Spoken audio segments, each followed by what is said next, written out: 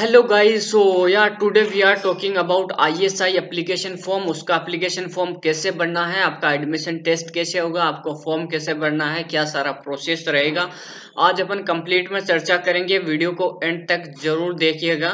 Okay so जो है अपन को जो फॉर्म फिल करना है सो so, गाइस ये जो है आईएसआई का पोर्टल लिंक है।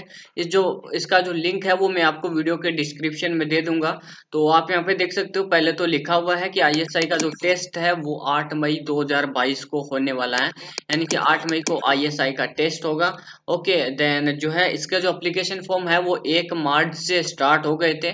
ड्यू टू फॉर एग्जामिनेशन हमारे एग्ज़ाम चल रहे तो मैं जो है वीडियो बना नहीं पाया। तो आज तीन तारीख हो चुकी है, यानी कि अभी दो दिन ही हुए हैं, ज़्यादा दिन नहीं हुए हैं तो हम देखते हैं फॉर्म को कैसे फिल करना है। तो मैंने अप्लाई नाउ पे क्लिक कर दिया है। ओके देन मैंने जैसे ही अप्लाई नाउ पे क्लिक किया। ओके स्टूडेंट्स तो जस्ट आपको जो है यहाँ पे दो ऑप्शन दे रखे हैं तो हम रजिस्ट्रेशन पे क्लिक करेंगे। ओके और इकतीस March is the last date of registration फिर तो मैं आपको ये फॉर्म फिल कर लेता हूँ। ओके. सो so, प्यारे स्टूडेंट्स यहाँ पे जो है पहले आपको आपका नाम डालना है देन ईमेल आईडी डालनी है देन पासवर्ड डालना है देन पासवर्ड कंफर्म करना है। सबसे ज़्यादा प्रॉब्लम आती है बच्चों को पासवर्ड के अंदर तो पासवर्ड कैसे चूज़ करना है आपको? इसके बारे में कुछ मैं सिंपल ट्रिक बता देता हूँ। जैसे आपने कोई पासवर्ड चूज़ किया तो आपने पहला अक्षर उसका बड़ा ले लेना है ठीक है? देन मैं ले लेता हूँ एक दो तीन चार ठीक है? ये नॉर्मल अक्षर आगे देन आपको जो है एक ये अक्षर ले सकते हो या ले ये ले सकते हो या ये ले सकते हो। आपको कुछ भी सिंबल चिन्ह ले लेने हैं, अच्छे चिन्ह, ओके, देन आपको एक दो संख्या भी लेनी है, और ये जो है एटलीस्ट छह से आठ नंबर, पंद्रह तक लास्ट हो सकता है, इस प्रकार से आपको पासवर्ड चूज़ करना है। ओके सो आप वो चूज़ कर सकते हो अपने बेसिस पे देन हम रजिस्टर पे क्लिक करते हैं, ओके। सो so गाइस मेरे पास देख सकते हो, ये ऑप्शन आया है कि आपके पास एक ईमेल भेजा गया है, उस ईमेल को वेरीफाई करना है तो अब मैं आपको बताता हूँ कि ईमेल को वेरीफाई कैसे करते हैं ओके सो स्टूडेंट्स मेरे पास जो आईएसआई की तरफ़ से ईमेल आया है, मैंने जो ईमेल आईडी डाला था, उसके अंदर लिखा है hello click the link below to verify email address to verify email address का कुछ लिखा है तो मैं उस पर जैसे ही क्लिक करता हूँ, फिर से जो है मेरे को जाके क्राउन ब्राउज़र में ले जाके खोल देता है।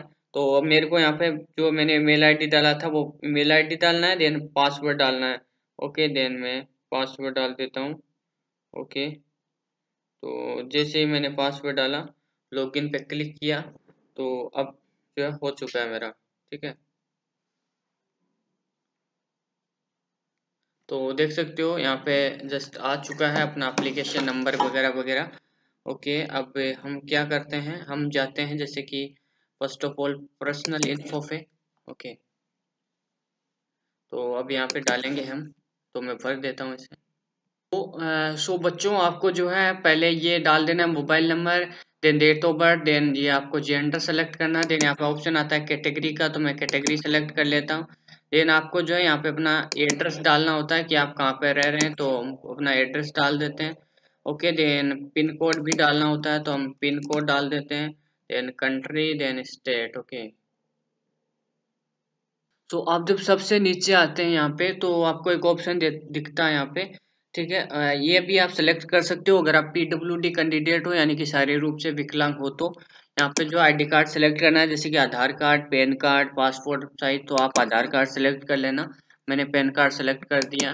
अब मैं सेव इन्फॉर्मेशन पे क्लिक कर देता हूँ ओके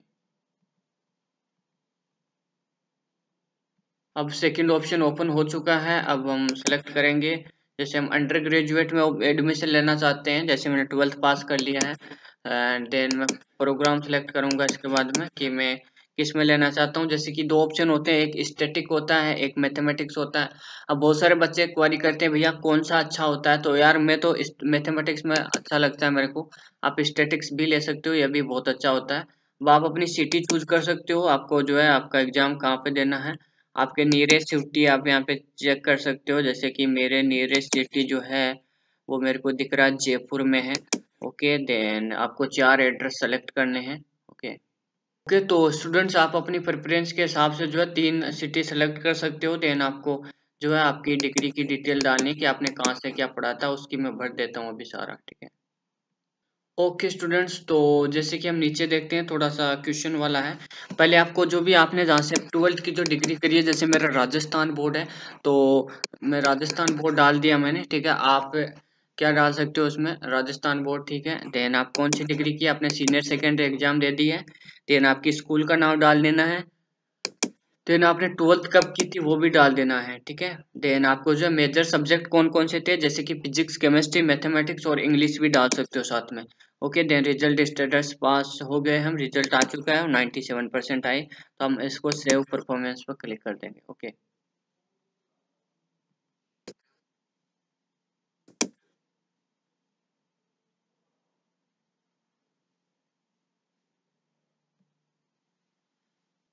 ओके okay, देन जो है आप यहाँ पे देख सकते हो जैसे सबमिट हुआ ये ऑप्शन खुल के आ चुका है। आपको फ़ोटो अपलोड करना है सिग्नेचर अपलोड करना है।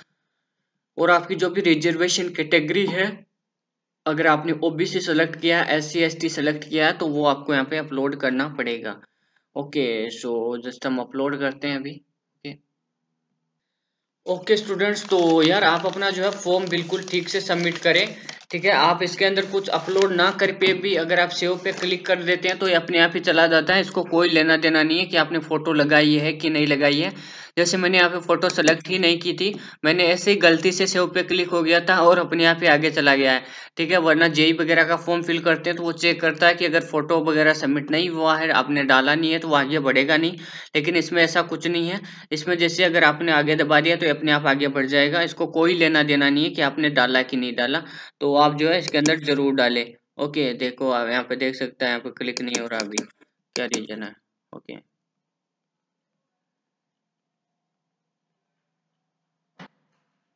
ओके okay, स्टूडेंट्स तो जैसे कि मैंने सारे के सारे अपलोड कर दिए जैसे मैंने अपनी फ़ोटो अपलोड किए जहाँ पे मिसाइल उड़ रहा है हमारे आईआईटी बॉम्बे से जा रहा है शायद ये ठीक है इसरो छोड़ रहा है इसको।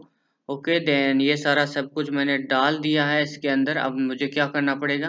मुझे जो है यहाँ पे सेव पे क्लिक करना है। अगर मैंने सही अपलोड किया है तो ये मान लेगा जैसे कि इसने मान लिया है। ओके देन इसको भी मैं सेव पे जैसे ही क्लिक करता हूँ तो इसने ये भी मान लिया है।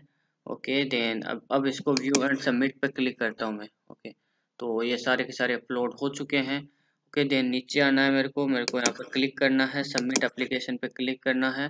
तो ये कंफर्म मांग रहा है कि आपने सारी डिटेल चेक कर ली है कि आप सारी डिटेल चेक ज़रूर कर ले ओके अब जो है मेरे को पैसे पेमेंट करना है।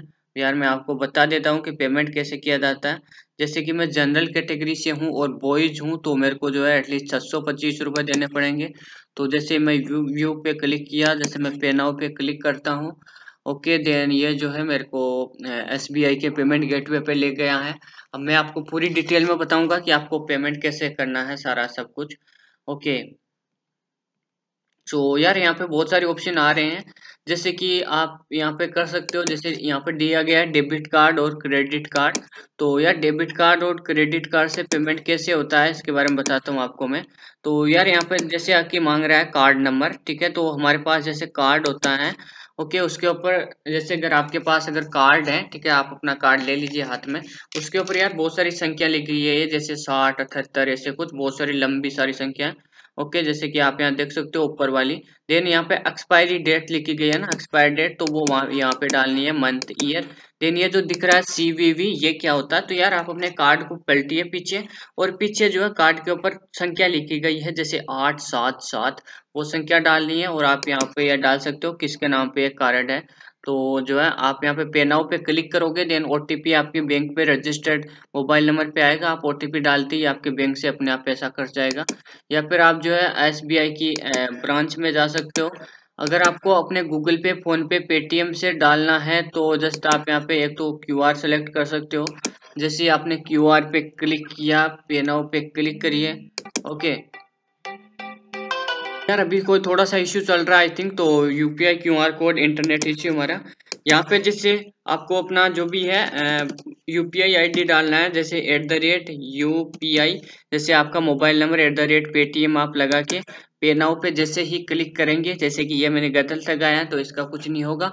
आपके ऐप में नोटिफिकेशन आएगा, आप ऐप में दबा के जो अपना पेमेंट कर सकते हैं, छह या फिर गर्ल्स के लिए कम है और पीडब्ल्यू के लिए भी कम है।